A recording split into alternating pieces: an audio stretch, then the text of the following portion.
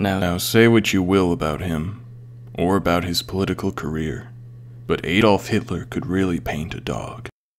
You know, some people may fail to appreciate Hitler's art because of who he was as a person, or things he did outside of his art, and they might even avoid looking at his art entirely.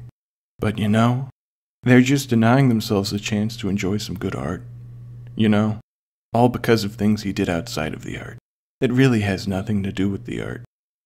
You know, it's really sad how people in America can't allow people, even artists, to have their own separate political opinion and respect it.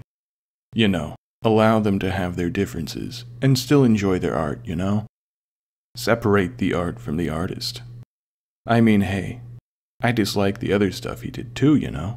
I don't agree with his opinions. But is my apartment covered in recreations of dog paintings created by Adolf Hitler? Yeah. I'm not closed minded enough to let politics and actions outside of the art stop me from appreciating it. Alright? Maybe try being more open minded if you have a problem with what I'm saying. You know, it's like Hollywood. Sure, a lot of them, the producers, the directors, the actors, are absolute pieces of shit. Sure, some of them are rapists and pedophiles. And sure, even when it's 100% known and proven, they still give the pedophiles awards. But if rewarding evil people for their art was bad, then we couldn't give Hollywood our money without being bad ourselves. What are we going to do? Just not watch movies? Just do something else? We have to consume. And we have to consume everything. Anything less would be bigotry. You know, just closed mindedness.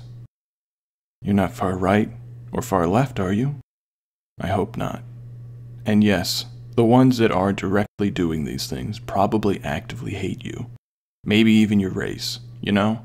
They might despise you, and they might do evil things and blame you, the normal people of the world, who didn't do shit, you know?